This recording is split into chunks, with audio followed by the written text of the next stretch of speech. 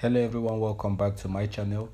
In this video i will show you how to dark mode tiktok in 2023 this is a quick and easy step. Just stay with me as i go through this step. If you want to dark mode your tiktok once you're in your tiktok application you click on the profile. Once you're in your profile here you click on the three line at the top right. Then you click on settings and privacy under the settings and privacy once you scroll down you see dark mode. You click on dark mode. If you click on dark mode as you can see mine is currently on light mode.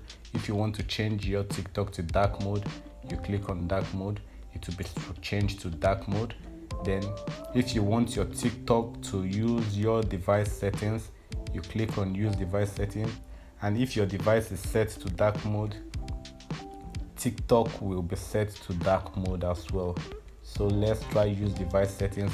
As you can see my device is set on dark mode. So that is why it's currently on dark mode.